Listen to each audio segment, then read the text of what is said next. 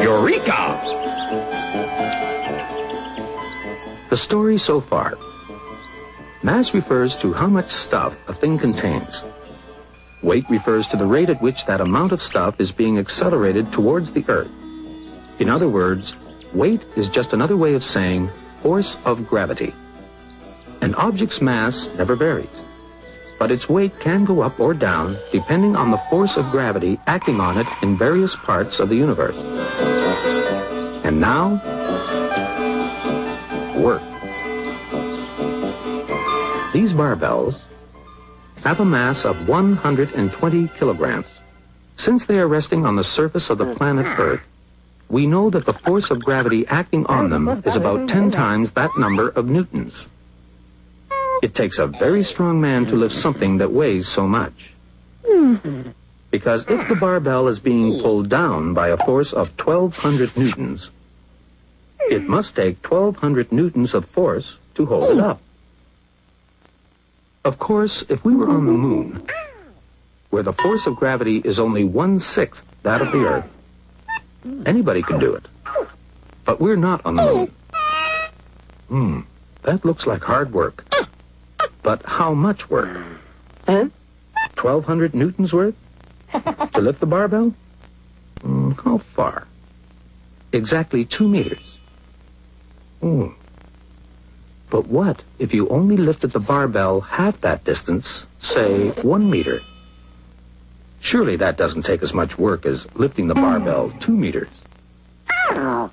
When you lift the barbell all the way up, you're doing 1200 newtons times two meters worth of work. When you lift it only halfway up, you're doing half that amount of work. 1200 newtons times one meter. In fact, this is how you measure work in physics.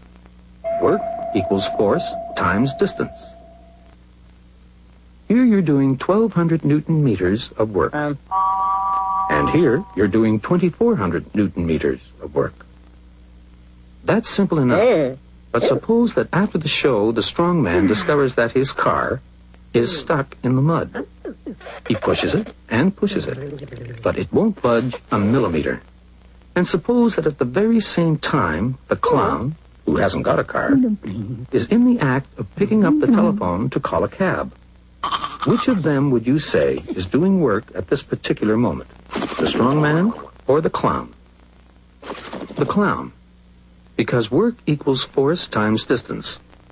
And although the telephone receiver only weighs about 2 newtons, while the strong man's car weighs perhaps 15,000 newtons, when he lifts the telephone receiver, the clown is applying a force of 2 newtons through a distance of 50 centimeters, let's say, or half a meter.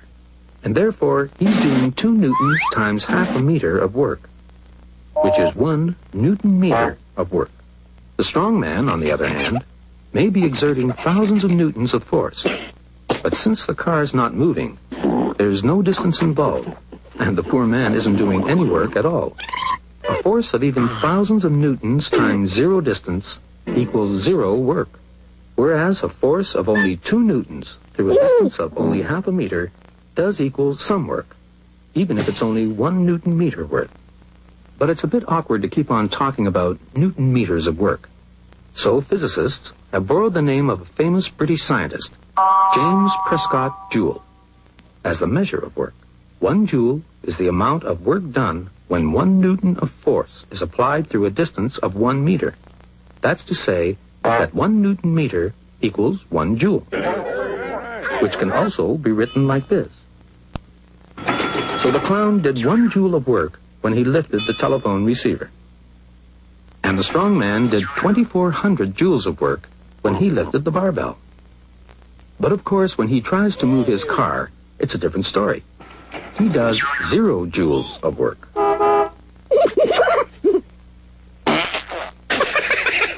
that's okay.